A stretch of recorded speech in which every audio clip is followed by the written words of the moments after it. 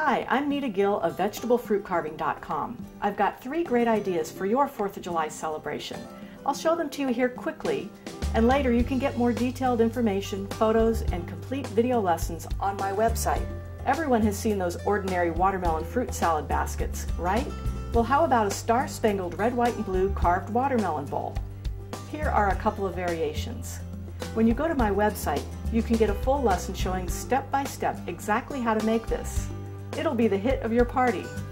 Also, when you visit my website, you'll see more watermelon carving photos that may inspire you, many of which were made by my students.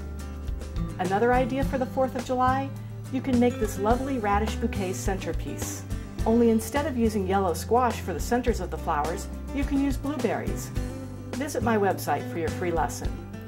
One more simple idea for the 4th of July, you can make white chocolate dipped strawberries.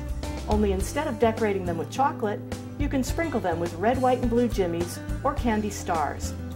To get your three complete video lessons, plus lots of photos, go to www.vegetablefruitcarving.com slash 4th of July ideas, or simply click the link in the description below. I'll look forward to seeing you there. Bye for now.